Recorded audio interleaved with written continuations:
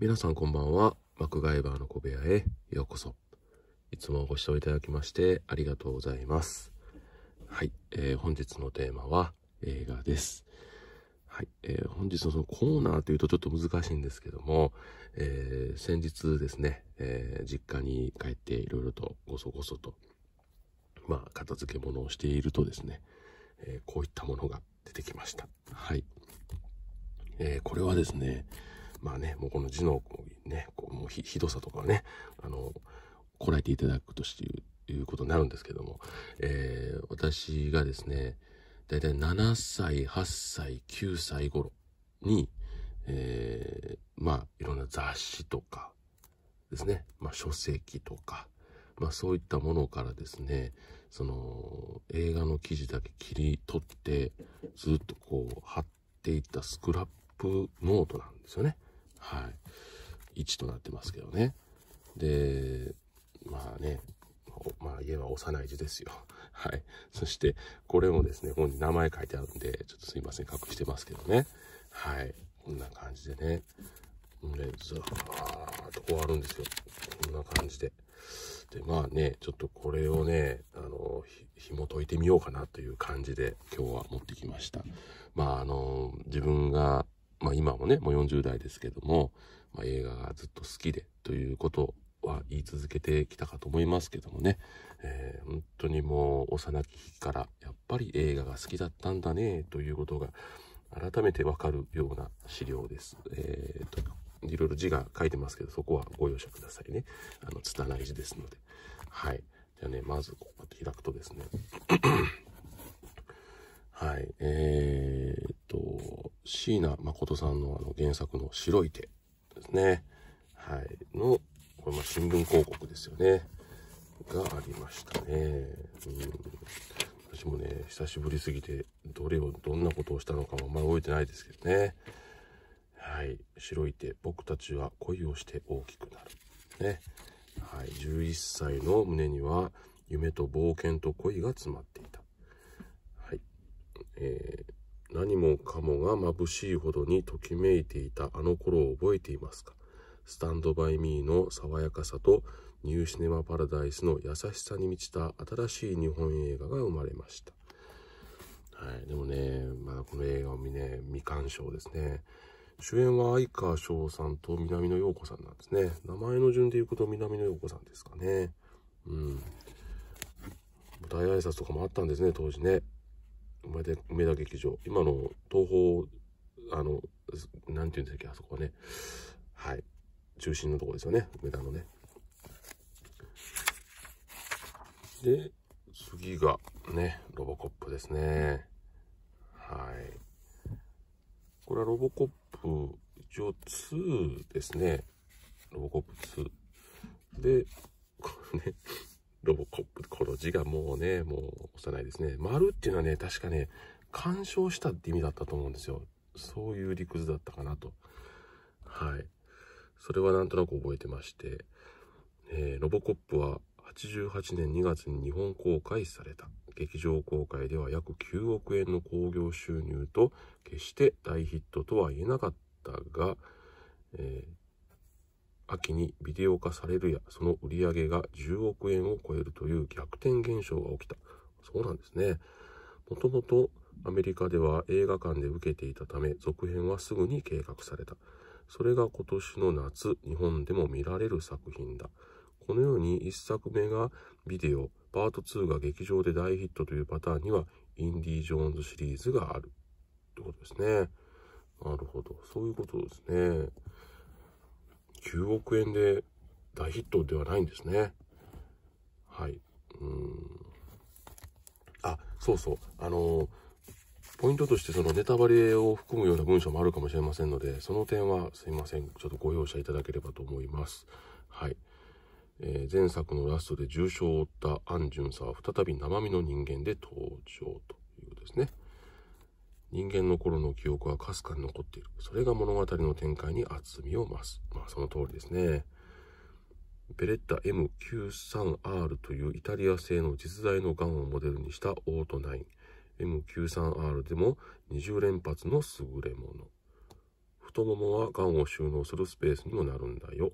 ロボコップのコスチュームはスターウォーズの C3PO をモデルにしている。あ、そうなんですね。これはちょっとは、まあ、初めてじゃないですね。これ当時読んだんですからね。はい。ターミネーターのシュワルツェネッガーもそうだが、SFX メイクに適した顔がある。はい。ピーター・ウェラーですね。ピーター・ウェラーさんのあの、シェイクダウンっていう映画は面白かったですね。はい。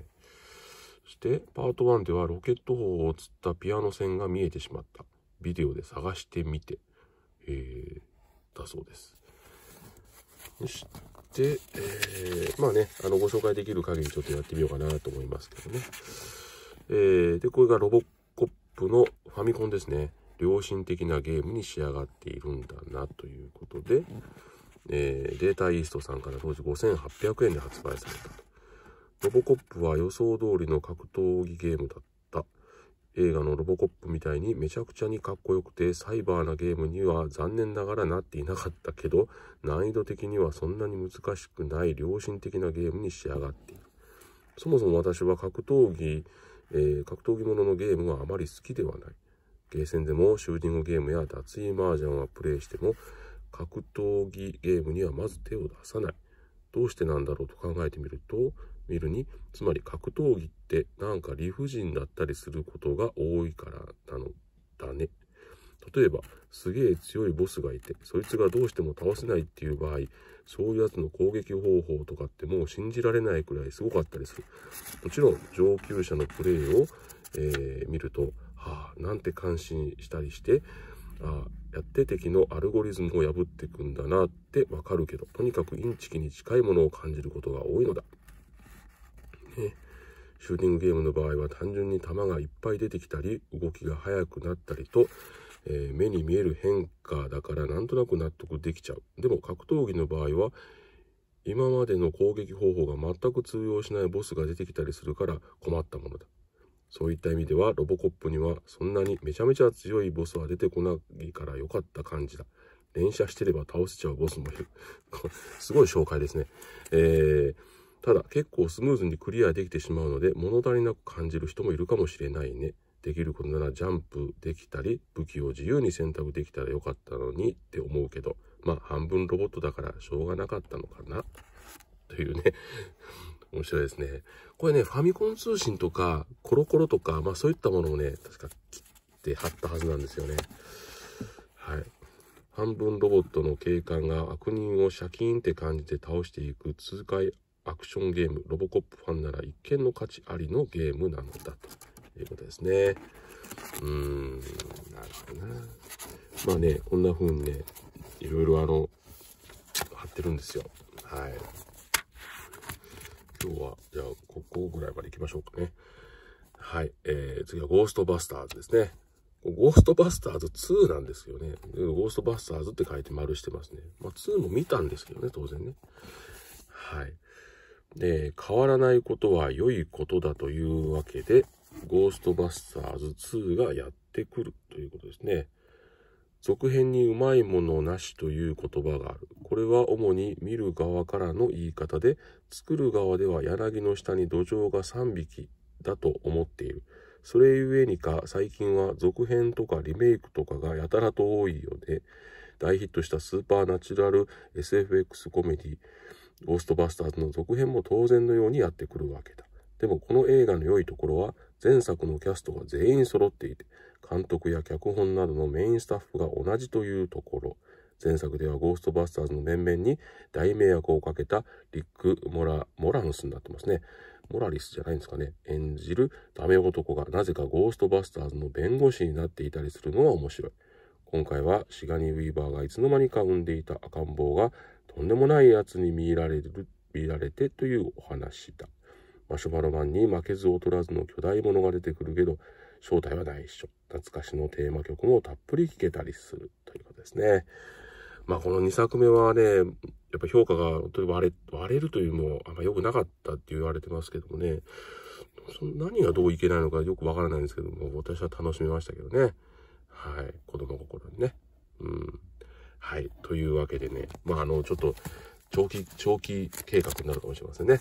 まあ、これまたね、定期的にご紹介していきたいと思います。やっぱり映画好きだったんだなということで、今回は私が子供の頃、ね、7歳、8歳、9歳頃に、えー、集めてスクラップしていたノートの、えー、第1回目のご紹介でした。またね、不定期ですけどご紹介していきたいと思います。はい、えー、本日もご視聴いただきましてありがとうございました。この動画気に入っていただけましたら、グッドボタン、またチャンネル登録、継続視聴、お知り合いの方にお伝えいただけましたら幸いです。え、またコメントいつもありがとうございます。励みにさせていただいております。え、また一言で結構ですのでどうぞよろしくお願いします。え、それではまた次の動画でお会いしましょう。さよなら。